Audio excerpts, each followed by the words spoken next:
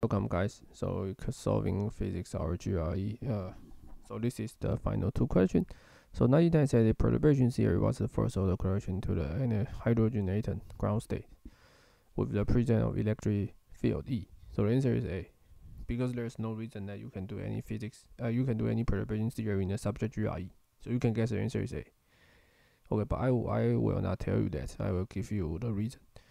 Okay, so suppose I let E equals to as z component, then the potential is this one. So the ground state, so the first perturbation is the 1s, and the integral 1s. And the remember, but the key point is that the, phi 1, the ground state is spherical symmetry. So that means phi 1s is only 5r, and the no theta of phi if you write the system in the uh, spherical coordinates.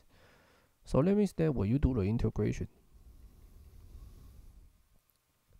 so this is the integration that you want to do, right? You want to do this this integration. But remember that z is equal to r times cosine theta. So when you do the integration on theta, you get the 0 to 2 pi sine theta times cosine theta d theta. And this is half sine 2 theta and then basically this is zero. So so once you know that this is uh, this is spherical uh, spherical symmetric on the hydrogen ground state then you know the answer must be zero. So this is the reason. And uh, basically I already did the integral so the answer is zero. So we should choose A. And uh, 100 uh, basically it's amazing that the final question is uh, mechanical. So you have have me uh 10 meters and uh, 20 uh, kilograms and uh, two and ask about which point should you put this uh fulcrums located then make it balance. So this is the center of mass. And uh, this is 10 and 20 and 40 okay so we can assume that this is x and this is phi plus uh, phi and this is 5 minus x. Okay so the left hand side torque should same as the right hand side torque.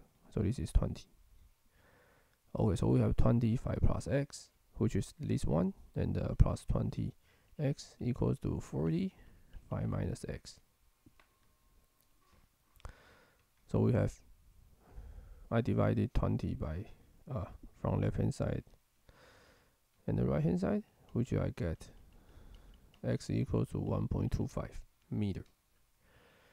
So which one is the answer? We solve it right? The answer should be 1.25 which is C which is C. So congratulations that we are done and uh, I hope you guys think this video is helpful and I will see you guys in the next two GRE sections. And be sure to subscribe to my channel. I will see you guys in the next video